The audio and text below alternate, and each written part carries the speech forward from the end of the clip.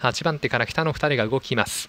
南関東ライン3番手に6番の湯浅博光さあ残り2周を切ったところ8番の鈴木剛が一気に前段切りました。さらにこの動き負けじと9番の長谷部翔です。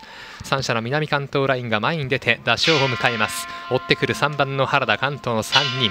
内で8番の鈴木剛。さあ関東の3人と北の2人中段で並走となっている。この並走を従えて先頭は9番の長谷部翔です。番手ぴったりと1番の佐藤和則。6番の岩佐宏美続いて残り1周の攻防。内地救ってくる8番の鈴木剛ですが外抵抗している8番の原田大志依然来た勢と。